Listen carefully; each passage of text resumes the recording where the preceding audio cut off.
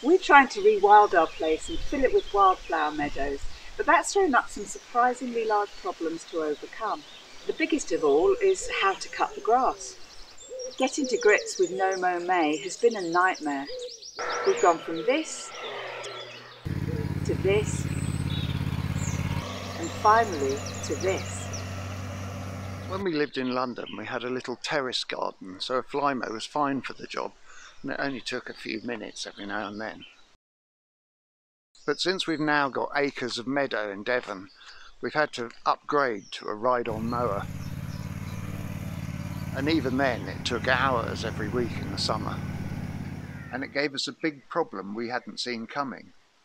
What to do with all the cut grass? And there was a lot of it. There was, yeah.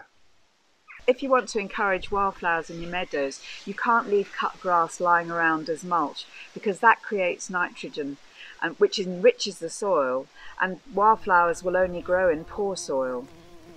So we had to collect it all up. And acres of meadow creates acres of cut grass. Soon we had huge mountains of the stuff mouldering away all over the place, each one turning into a pile of green sludge. Lovely. We tried composting it, but nobody needs that much compost. And anyway, grass has to be used sparingly in compost, or that too turns into the dreaded green sludge. We tried drying it out and burning it, but grass is really smoky stuff, and our huge bonfire soon filled the local valley with smoke. Sorry, neighbours. We'd run out of possible solutions. What were we going to do with it all?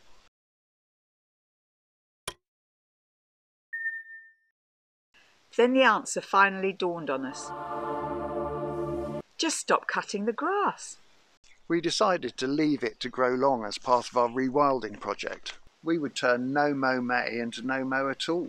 This would promote wildflowers and other meadow plants, improve the habitat for voles, mice and other mammals, and that in turn would increase the likelihood of owls, buzzards and other birds of prey. So we stopped mowing the whole place and instead just cut paths through the grass. It looked fantastic at first. Swathes of long grass gently billowing in the breeze. Romantic paths winding their way through. But as autumn arrived, the grass got too long, and when the winds and gales started, it flattened it all into a really unsightly mess. Then an even bigger problem dawned on us. How on earth were we going to cut it?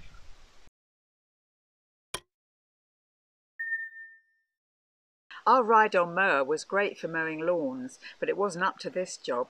At one point we blew it up with smoke billowing out because it just couldn't cope. What could we do? We thought about getting some scythes and cutting it that way, but there are over two acres of meadow and that seemed like really hard work. We suspected our Grim Reaper antics would only show up the fact that we didn't know how to use one. And then salvation arrived in the form of a friendly local farmer. He agreed to use his tractor to cut the grass, and in return he could keep the hay for his livestock. Good deal. It took a few days. First, he came and cut the grass with his tractor. Then it was left for a few days to dry out before he came back with a different attachment on his tractor to turn the hay and help it to dry.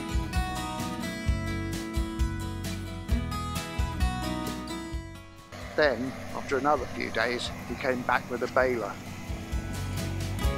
The farmer got to keep the bales as payment. We got to sit on them for a while first. And they looked great standing in the meadows.